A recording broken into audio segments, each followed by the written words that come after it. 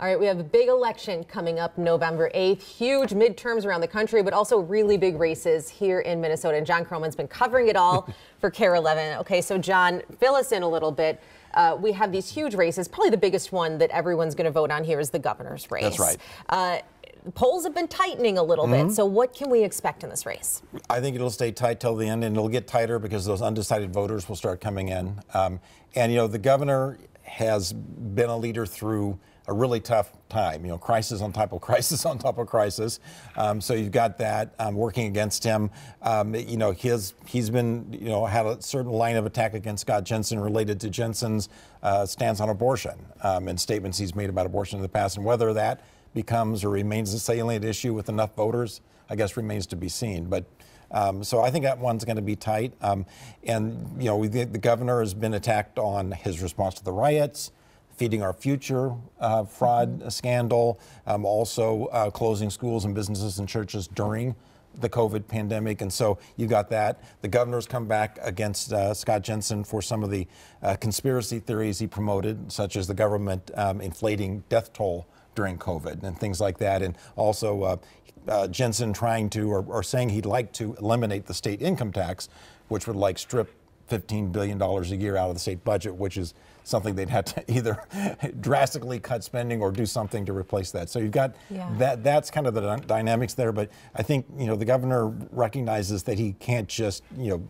be complacent about that. That Jensen is a legitimate, credible um, contender in this race. You know, I'm wondering, we're talking about all of these issues, and what do we know from polling? I mean, we've done polls at KARE 11, we've seen other ones about what issues are actually landing and what kind of mm matter to Minnesotans because it's clear that Tim Walz has wanted to talk about abortion. Right. That has been a Democratic strategy throughout the whole midterms. Mm-hmm. It's clear that Scott Jensen wants not to talk about that. Right, right. he wants to talk about crime. It right, seems like has been his strategy. So what do we know about what voters actually want to hear? Well, it's interesting because our own poll that we did with the Star Tribune and NPR um, showed that the economy was the top issue. If people mm-hmm. were asked to just name one issue, I mean, we talked to some of the people who took part in the poll, and they said it was really hard to decide because they see all the issues is kind of linked and interwoven. Um, but economy, you know, inflation, gas prices, things like that was top. Number two was crime. And what was interesting to me is that even in low crime areas, Republicans think crime is a big problem. And so I don't know if that's because of messaging or because they typically would go to the Twin Cities to visit, and now they say they're afraid to go to the Twin mm-hmm. Cities, things like that. So there's that. And then number three was abortion. And everything else, education, climate, uh, you know, energy, all that stuff was below. Um, okay. below those top three issues. So those are the th- issues they're focusing right. on. That does seem to be what people care about. Uh, all right, so Attorney General is probably, as, as I've seen with polling at least, the tightest of the statewide exactly. races. I mean, that is a, a, really tight race for Keith Ellison, who's trying to retain his seat. Right. And it's interesting because the Attorney General's job, as you know, is generally about civil lawsuits. It's mm-hmm. consumer protection actions, it's going after bad players uh, in the consumer world and in the business world generally. Um, but the race has now become about um, the criminal prosecution role of the Attorney General's office. And you've got uh, his opponent, Jim Schultz, Republican opponent, uh, basically saying that uh, um, Keith Ellison has failed to protect people and hasn't made public safety enough of an issue. And, and you know, Ellison has basically said, you know, we have a really small uh, staff of prosecutors, but we're getting the work done. We're helping local people, local attorney, yeah. county attorneys. Um, the, the, the liability for Ellison in this with Republicans is that he did endorse question number two. I mean, he has no control over the Minneapolis Police Department or Minneapolis Police budgets, but he endorsed ballot question two, which would have replaced the MPD, and that has created major liability for him with the police groups. The police groups have now endorsed Jim Schultz. And it seems like we've had all of these proxy races mm-hmm. around question two. The Minneapolis mayor's race right. eventually was about question exactly. two. But you know, it's funny because you and I, we cover the Attorney General's office. So we know that their role in criminal prosecution really isn't that big. Right. In Minnesota, a, a, local county attorney needs to ask them mm-hmm. to come in to prosecute they, a murder case. But do you think most Minnesotans know that, or do they? Do you think that they think, okay, Attorney General, top cop, top cop, this that, is about that, crime. Exactly. That label, top cop, makes you think that the job is about crime. And this is an advantage for the Republicans because now they can show the images mm-hmm. of Minneapolis burning and try to link Keith Ellison to that. Um, and I mean, Ellison was involved in some really high profile prosecutions because uh, the Chauvin trial and the Kim Potter trial, the AG's office led that, but it's mainly a team of local prosecutors helping with that.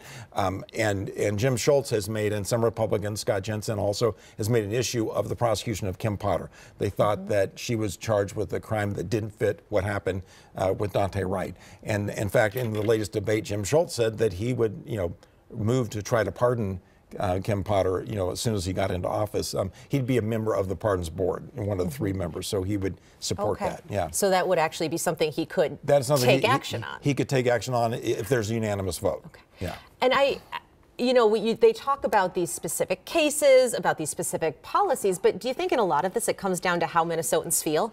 Do I feel safe? Do I feel no, secure? No, that, that's it. I mean, it, it, goes all the way back to the Ronald Reagan question. Mm-hmm. Do you feel better off than you did four years ago? And a lot of it is gut you might be angry, and you know we know the Republican ad makers are experts. They're artists when it comes to reminding people what they need to be angry about.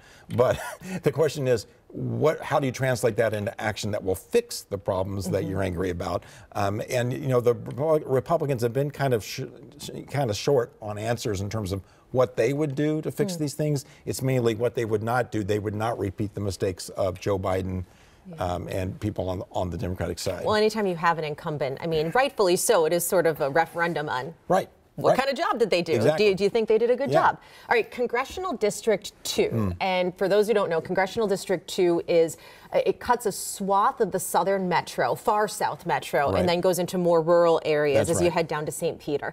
So that is one of the most expensive races mm-hmm. and one of the most closely watched races in the country right. in Congress. Why? It's one of the very few competitive congressional districts. A lot of the mm-hmm. districts, just because of the way districts are drawn and gerrymandering and other things, a lot of districts aren't competitive. It's you know they they basically are are you know geared to be an advantage for the incumbent. This is one of those that is wide open, anybody could win it. And the shape of the district has changed too. Because of redistricting, uh, it's taking in an area directly south of the Twin Cities that uh, wasn't originally in Angie Craig's mm. district, and it's more of a Republican area. So that gives the Republicans, you know, this this hope that they can flip it back to red. It was a red district. It was always a Republican district for a long time, and then Angie Craig flipped it in 2018. Um, it barely won re-election against Tyler Kistner in 2020.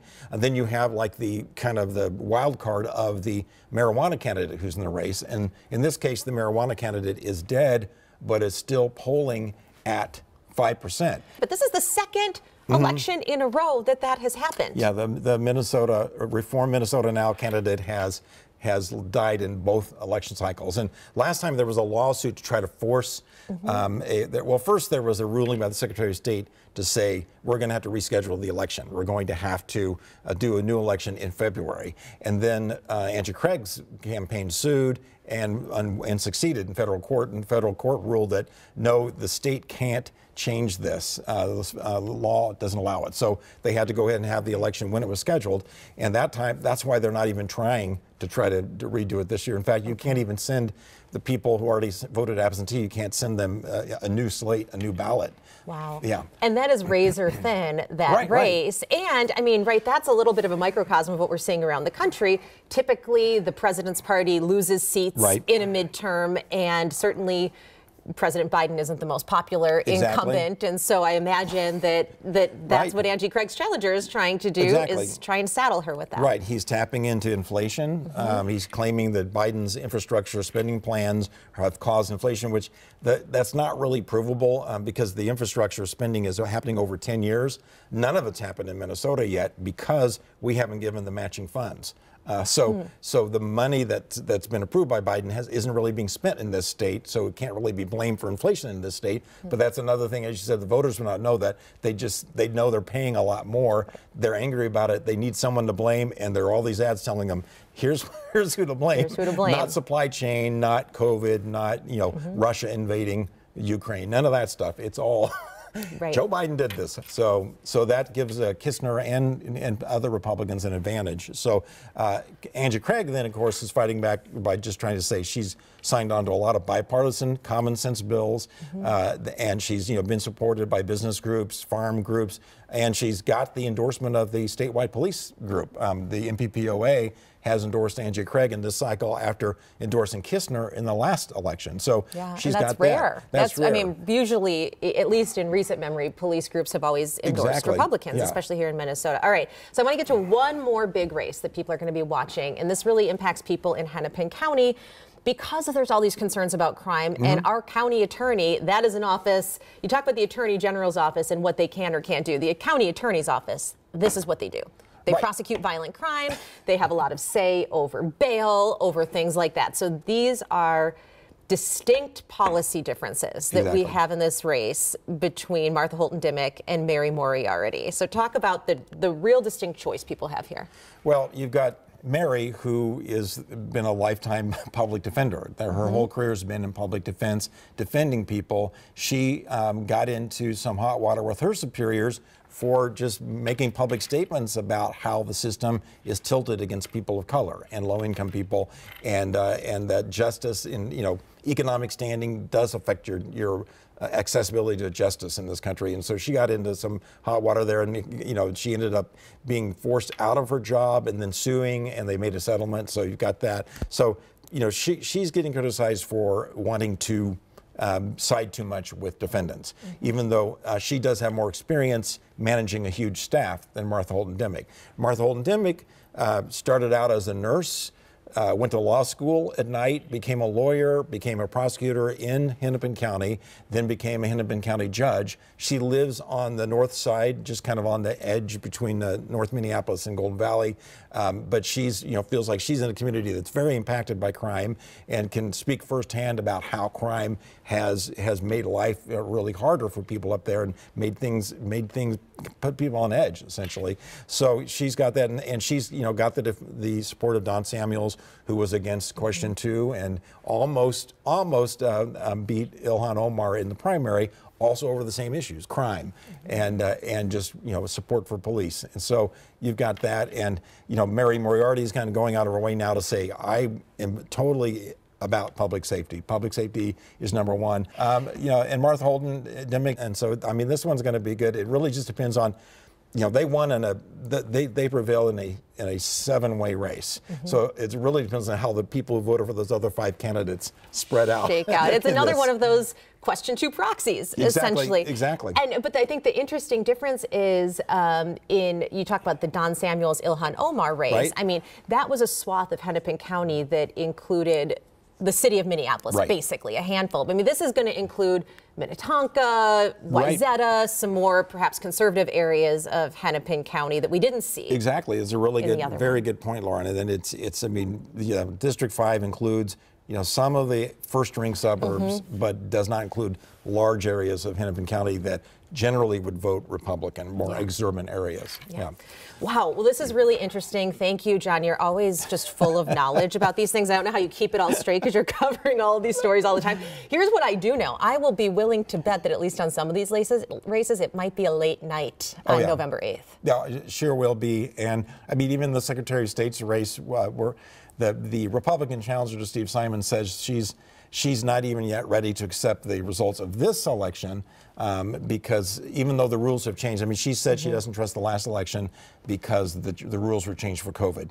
But this time we're back to the original rules. You know, you yeah. need a witness signature, absentee ballot, and all that stuff. And she's still w- wanting to see how the votes are counted mm-hmm. before she'll commit to it. So, yeah, so that could be that could be another late night thing. And you know, we you know, it's one of those things where I don't think we'll have answers to a lot of these races. And, and you know, for you know, me, I cover the state capitol, and the control of the legislature is another big one. Huge. Uh, and we didn't even touch yeah, on well, that, but that is huge. Minnesota is the only divided legislature right. in the whole country, which just astonishes me. It just shows, I think, the unique political climate yes. in Minnesota. Yeah, I mean, very purple state, and you can have. That's why you can. The Republicans have not won a statewide race here since 2006, when Governor Pawlenty won re-election, um, and and so they really want to win one of these statewide races. But the legislature control keeps switching back and forth, mm-hmm. and it's it's just you know part of it's because the terms don't line up, you know. So it's uh, it's it's a crazy thing. So we're going to be watching that really carefully too on election night because.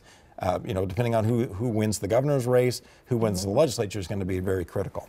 Wow. Well, you guys, we will be having coverage obviously on KARE 11 throughout the night, but you can also catch us. We're going to be going wall to wall with local races on KARE 11 Plus. So if you want to hear more about what's happening in some of our congressional districts, make sure to be following us throughout the night here too and online. Thanks, John. Thank you.